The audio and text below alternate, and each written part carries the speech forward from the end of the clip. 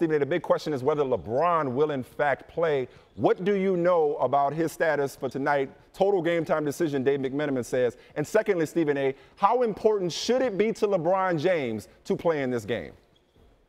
Well, first of all, I think it's a questionable decision in terms of you know whether as to whether or not he's going to play. He's listed as questionable. I sincerely doubt that he's going to miss tonight's game. Now, in the grand scheme of things, Michael, is it important that he plays? No. LeBron James has been to seven consecutive Thank NBA you. Finals. It's just a regular season game. What matters most is what he does between mid-April to June. But I would say to you that tonight, specifically tonight's game, is the exception, and here's the reason why. Okay.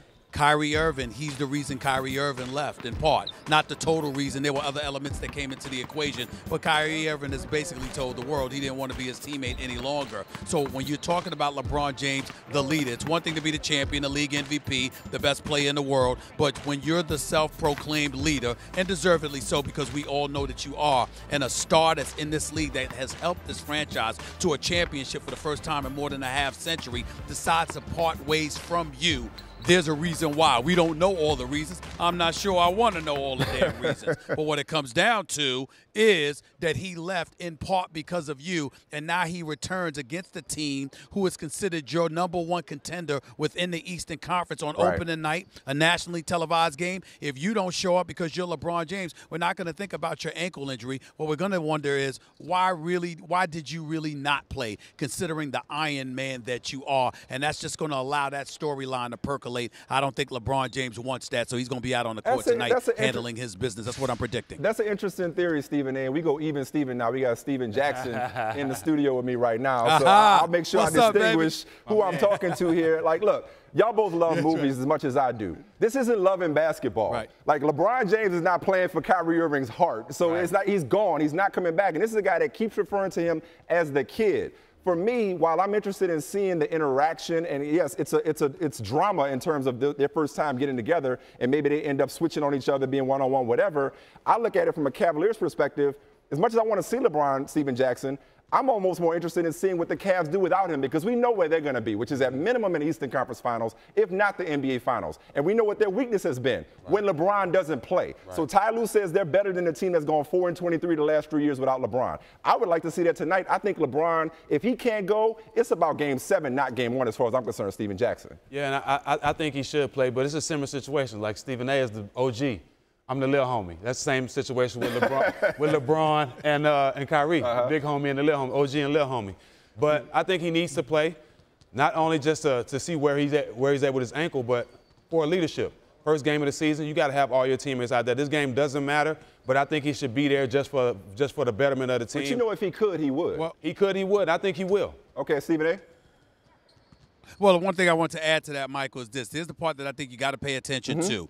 LeBron James doesn't need it as an individual per se, Right. but the leadership that Ste- that that, that Stephen spoke, uh, you know, alluded to is exactly what I was alluding to because of the effect that it's going to have on the team. And you may say you're more interested in seeing what the team will do without LeBron. My response to you, Michael, would be this: Why would you want to see that? Because if the Cleveland Cavaliers are going to win a championship, that's it. If the Cleveland Cavaliers are going to win a championship, they ain't doing it without LeBron. Well, they so lost anything it last, that you but do Stephen needs lost to be with. LeBron on the floor. But Stephen A. They lost it last year when he went to the bench. Yeah, they was like the people are saying this may be the best supporting cast he's had once IT comes And- back. They lost and- it against the Warriors when he when he sat out. and I'm telling you, and I'm telling you, 10 times out of 10 times against Golden State, a Yeah. caliber of a team like that, they're going to lose without LeBron James on the No floor. question. Get over it. But maybe That's- they don't, maybe gonna- they don't get the lose without him doors blown off them. But let me ask you this. Okay, cool. So let me let's Oh, move on to okay. Kyrie, Okay. who I know you, you're well connected to Kyrie. All right. Uh, if, in case y'all wondering, the Celtics record for most points in a debut is Neek with 25. I know y'all remember it back in 94, 95.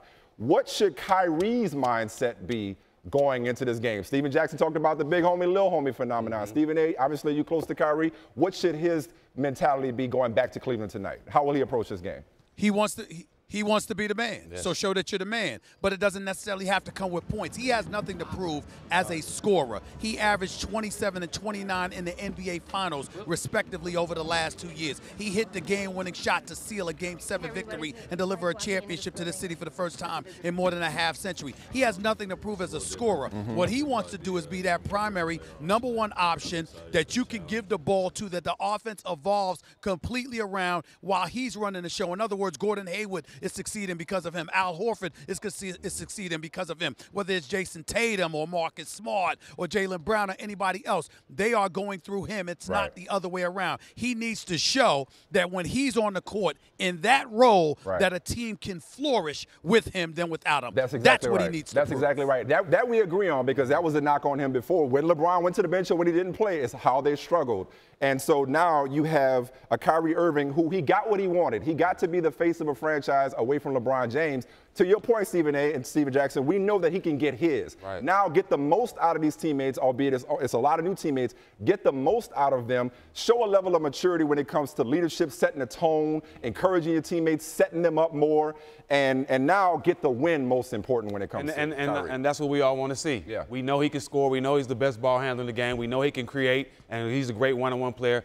How are you going to make Tatum better?